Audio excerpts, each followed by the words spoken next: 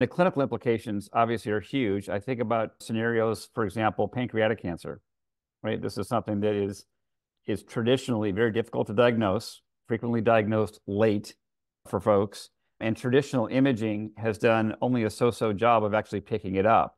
Being able to pick it up a year or two earlier by virtue of having some of these advanced algorithms doing their thing, it would be huge for patients and for society.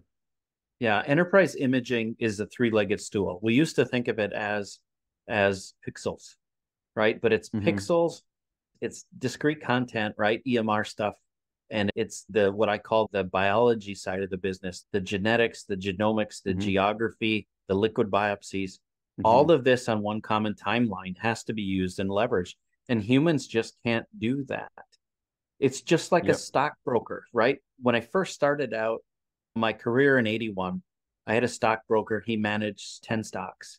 Now, a stock, there is no such thing as a stockbroker, right? Mm. They're a portfolio manager. They manage tens of thousands of stocks and EFTs. And how can they manage that volume and quantity of data?